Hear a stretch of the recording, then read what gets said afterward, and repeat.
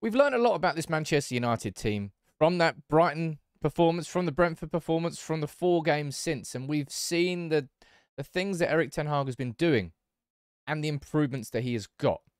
But Real Sociedad on the Thursday is a massive game for Ten Hag because it's his chance to see this squad in action. We've got nine games coming up in October. We're not playing that starting 11 that played against Arsenal, that played against Liverpool every single week. It's not possible. He needs to be able to rely and to trust his second 11. So what I'm going to do in this video is run through my predicted team for this game against Sociedad and the changes I expect. And I think there will be quite a lot of them because Ten Hag needs to know that he can trust these players. Just like we as fans need to know that we can trust these players because we couldn't last season and we haven't been able to for a good few years. So make sure you please subscribe to United People's TV and let's jump into this conversation. This was the starting 11 that played against Arsenal. I don't think there was no. There was one change, of course. It was Antony coming in, but it's been a very unchanged 11 from his last four games. And Erik Ten Hag clearly has got a response from his players. He backed his players. Even with Casemiro in the team, he hasn't dropped Scott McTominay. He really has been keeping this 11 because it's been delivering for him. But there will be a lot of changes on Monday. And now let's start in, in let's, let's start back in back in goal because it's the easiest one to go to. And I think that one is quite obvious. Well, in my opinion, it's quite obvious. We've just signed Dubravka on loan. He's going to be here for the season. I would be surprised if we didn't see Dubravka between the sticks. He's going to have to be tested, right? We need to see whether or not he can play in that position, and it's up to Erik Ten Hag to give him this game to choose that. He might play Tom Heaton, he might not. But I think we'll see Dubravka between the sticks. And in terms of that back five, look, it's been settled in these last few games, hasn't it? We've had Malacia, we've had Dalot, we've Varane and Martinez. It's worked brilliantly. They all have worked brilliantly as a unit. That's what we need to see when these changes happen because I think we're going to see wholesale changes in our defence. Lindelof, Shaw, Maguire, and Wan-Bissaka. I personally think we're going to see every single one of them come in and every single one of our back five go out. I think it will be a full change. And it's going to be their opportunity to prove to Erik Ten Hag, you know what? You can trust me. You can rely on me. Varane, sorry, Varane, um, Maguire came on for the last, well, for a couple of minutes, a little bit longer than a couple of minutes against Arsenal. And, well, he got, he got a yellow card within what, like 20 seconds? That back four was abysmal last season. Utterly, utterly abysmal. I'm not sure who was the worst player. I mean, it was probably Harry Maguire, but they were all just absolutely atrocious. And they were all dropped. Maguire got dropped, Shaw got dropped, and it coincided with Manchester United's resurgent form. They need to use this game to prove to Erik Ten Hag, you know what? You can rely on us as, as a second 11. You can rely on us when you need to because we need the squad this season, man. We've got, as I said, we've got nine games in October. We can't play Martinez and Varane every single game. We can't play um, and Dalot every game. We need to know that Shaw and Wan-Bissaka can do a job. And Wan-Bissaka, I'm just, I'm terrified for. I just don't see how he suits this system. I really, really don't. I'd love to. That's the one I've really got to be proven wrong about. Just Wan-Bissaka hasn't progressed in his attacking game enough to really make me think that he can play the inverted fullback role, to have that tactical new and under, news and understanding that Malacia and Dalot have showed. It's a big fundamental of the game that Ten Hag's building to build the extra body in midfield. Wan-Bissaka, man, proved me wrong. Maguire, proved me wrong. Lindelof, I've, i am pretty confident that Lindelof can do a decent job in this setup. I think as a ball playing centre back, when we signed him from Benfica, that was what he was good at. I'm fine with him. And Luke Shaw, refine that form, Luke. Come on, that form that got you into Euros in banging form, your team at a tournament, gold in the final. Where's that Luke Shaw? Come on. Show me him again. But I think it's going to be that as a back five. Dubravka with Shaw and Wan-Bissaka as a fullbacks, with Maguire and Lindelof as a two centre backs. And in midfield, I think we will see wholesale changes again.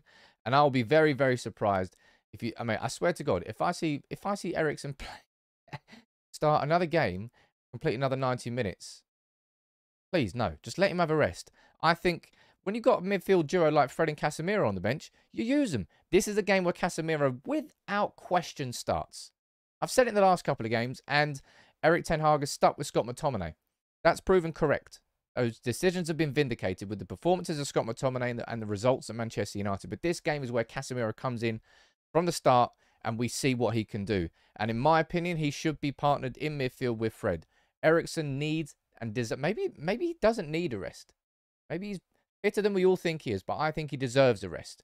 And I would rather save his legs so they're 100% fresh for Crystal Palace on Sunday, which is the more significant game. This is a game where we have to see about this 11 and whether they can play ball or not, just like that first 11 has in these last four games. And look, that is a back. Look at that as a back six that is now going to be what our second 11. What second 11 at the moment? Casemiro is not a second 11 player, but he's currently not in the starting 11. That's a good back six compared to last season. I personally think that Bruno will stay in. Bruno is a player that just plays constant football. I think out of all the players, if I'm going to see someone's going to be fit enough to play here on Thursday and, and then again on Sunday, I'd probably say Bruno. Uh, if Van der Beek was fit and not injured, I think we could probably have a conversation about that and, and playing him there. Maybe you'll see Eriksen play there, but I think I'd rather have Eriksen have a rest. And I think Bruno's going to be fit enough to play. So that would be my my back five and my midfield three. Bruno staying there with Fred and Casemiro. And up front, I think there will definitely be changes. Now, Antony, of course, made his debut. And I personally think that Antony will be starting again against Real Sociedad. He got, what was it, 60 minutes he got um, against Arsenal. I think he needs a bit, he'll need, ideally, I want to see that again. I want to see Antony come on and start this game and then go off and around about the 60th minute mark, probably for Elanga, something like that. So I'm going to keep Antony on the on the pitch and I'm going to keep him playing on the right hand side, which is going to be his own. That's going to be where he crafts his work this season. He won't really play anywhere else. Going to be a right winger for Manchester United, and I think he should be starting this game. Now, in terms of the left wing and up front, I think there are two changes that, that will be happening. I don't think Sancho will start this game. I think he'll be rested. And you could put in Elanga or Garnacho.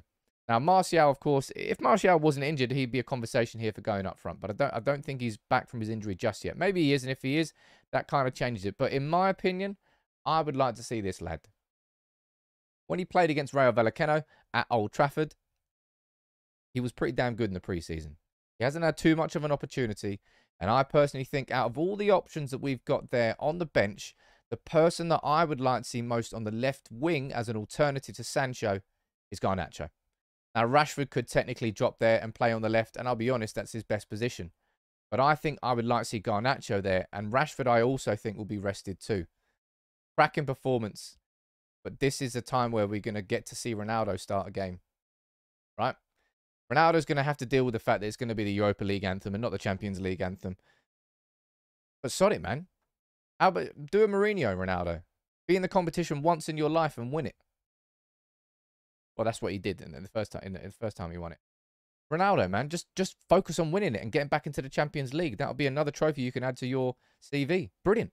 And I think Ronaldo, in my opinion, actually the performance he put in from the bench against Arsenal was his best performance so far. He looked a little bit sharper. He looked a little bit fitter. He was making good runs. Fred should have released him with a better ball, and I think he, I think he could have scored once or twice against Arsenal if the balls were better in towards the end of the game. He looked frustrated. He looked angry. He looked like the Ronaldo that was frustrated for the right reasons because people are robbing him of goals. That's that's the right frustrations and the right moody Ronaldo that I want in my team. I think he'll start this game. But Ronnie, man, let's see what you've got. Um, I think, as I say, I think he looked fitter against Arsenal than he has done in his previous substitute appearances. But that would be my front four: Antony on the right wing with Garnacho on the left wing, Ronaldo through the middle, and Bruno staying in the starting eleven. So there's a, there are wholesale changes there.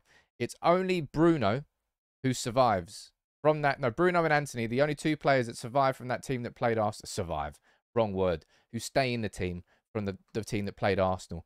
I think it's going to be a complete back five switch. Dubravka with Lindelof and Maguire. We have to see them both play together if they're both fit, and they both are. Shaw, if Shaw is still injured, then of course, simply put, you just do that. But I'm pretty sure Shaw was on the bench against Arsenal. I think he'll be fit to play. And we need to see that and Wan-Bissaka can come in for Malacia and Dalot when they need to be rested. They can recuperate. We need to be able to trust this squad. This is the next big acid test for this squad. If, you know, uh, what's the response to Brentford like? And we do that against Liverpool. Oh, but can you do it in the next game? Can you follow up? Yes, you can. And again, two clean sheets. Can you do it against Arsenal? Yeah, you can do it. Lots of questions asked of this United team over the last few weeks and games, and they've all been answered correctly. Now, this game is about seeing whether or not this 11 and play a similar style of football to what the starting 11 would and could and have done over the last few games. How will United play midfield when Eriksen's not there? Will Fred be able to do a, a, similar type of job? Probably not. But Casemiro, can they work together as a partnership? What about Maguire and Lindelof? Can they play like Varane and Martinez? Probably the biggest question is, is what's going to happen in the drop-off from Varane and Martinez have been so solid together. We need to see that from those two. Questions all over the pitch. And Ronaldo, I want to see Ronaldo lead by example, grab a couple of goals, get that confidence and swagger back. And I personally would like to see Garnacho and Antony start in the wings. You can let me know what you think about the starting 11 in the comments below. Who do you think will start? Who do you think shouldn't start? Let me know what you think. Make sure you subscribe to United People's TV. Take it easy.